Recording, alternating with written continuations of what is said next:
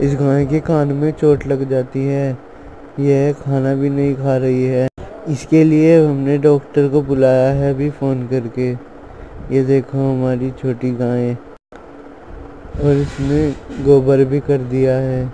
हमने आज ब्लैकी को सुबह ही नहलाया है। देखो कितनी सुंदर लग रही है। हम इसे कहीं बाहर घुमा कर